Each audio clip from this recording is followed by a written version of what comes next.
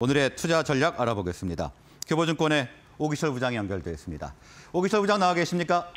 네, 안녕하십니까? 네, 안녕하십니까. 자, 오늘 어떤 이슈 주목하고 계신가요? 네, 일단 이번 주 좀 가장 큰 이슈죠. 아마 7월 아, 미국의 이제 CPI가 발표가 되는데요. 10일 날 발표를 예정을 앞두고 있습니다.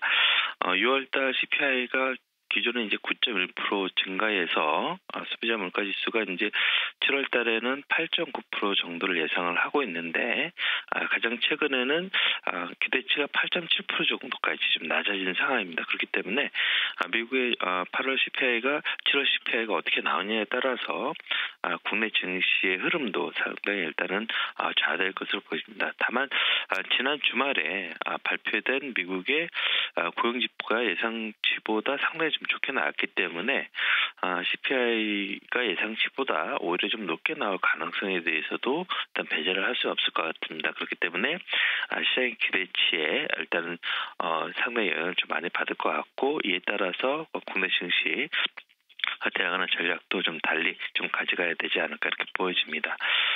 어, 위험에 대한 인식이 좀 많이 변하고 있는데요. 아, 일단은 어, 유가가 일단 하락을 해주고 있고 어, 전반적으로 물가에 대한 그 정점 기대가 좀 높아지고 있기 때문에 고물가, 고강도 긴축, 경기 침체에 대한 전반적인 위험에 대한 인식이 좀 긍정적으로 좀 변화가 되고 있습니다.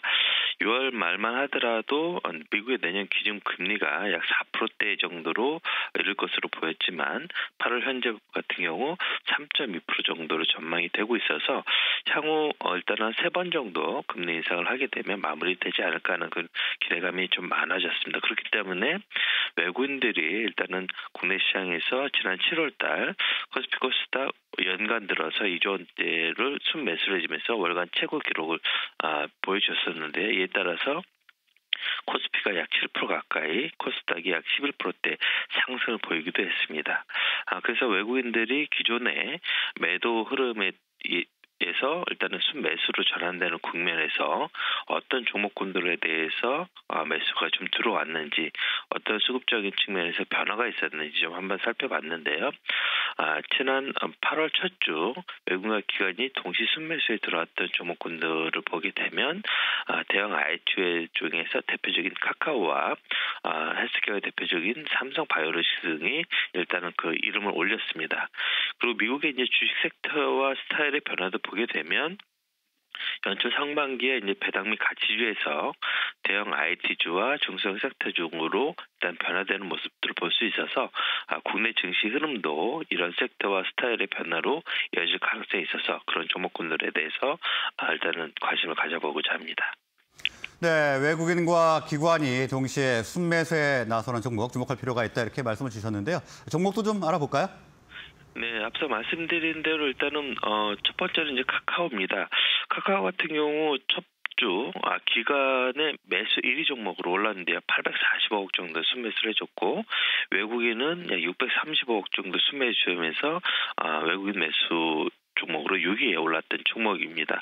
일단 무엇보다도 실적이 일단 뒷받침이 되었었는데요. 우려 속에서도 실적 예상치에 부합해서 2분기 매출이 약 1조 8천억 원, 영업이 약 1,710억 정도에 일단은 아, 달했습니다. 그렇기 때문에 물론 이제 시장 기대치가 좀 낮아지긴 했지만 예상치로 좀 부합했다는 점이 좀 긍정적인 모멘텀으로 작용했고 아, 기존에 이제 모빌리티와 컨텐츠 매출이 일단은 성장세를 보이면서 실적을 좀 뒷받침한 측면들이 있습니다. 또한 이제 하반기에 광고 사업과 성장률 회복이 가시화가 기대가 되고 있기 때문에 일단 실적 성장성에 대한 기대감이 아직 살아 있고 일단 전반적으로 수급적인 측면도 긍정적이라서 일단은 첫 번째 종목으로 아, 카카오를 보셔야 될 것 같고요. 종목에 대한 뭐 흐름은 작년 6월달 17만 원대에서 올해 7월달 6만 원대까지 빠졌기 때문에 이제 8만 원대라 그러면 아, 주가가 이제 반등이 나오는 구간 초입이다 이렇게 볼 수 있을 것 같습니다. 두 번째는 이제 삼성 바이오로직스 볼 수 있을 것 같은데요. 삼성 바이오로직스 역시 기관과 외국인들이 아, 각각 113억, 어, 289억 매수를 해주면서 순매수 상위에 올렸던 종목입니다. 삼성 바이오로직스 역시 2분기 실적이 예상 치보다 상당히 좀 견조했었는데요. 아, 지난 4월 바이오젠으로부터 2조 7천억 정도의 매부, 매, 지분을 매입해서 100% 지분을 확보하면서 아, 실적이 일단은 더해지는 그런 모습을 보였습니다. 그렇기 때문에 어, 일단은 성장성이 더해질 것 같고요.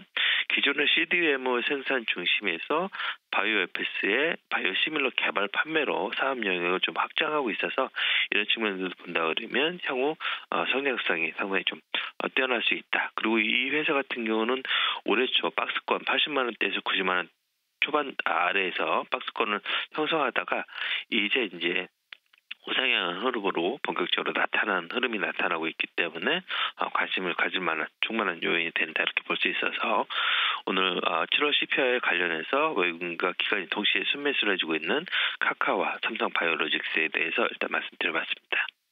네, 외국인과 기관의 동시 순매수가 들어오고 있는 카카오와 삼성 바이오로직스 분석을 해봤습니다. 자, 오늘 말씀 여기까지 듣겠습니다. 고맙습니다. 네, 감사합니다.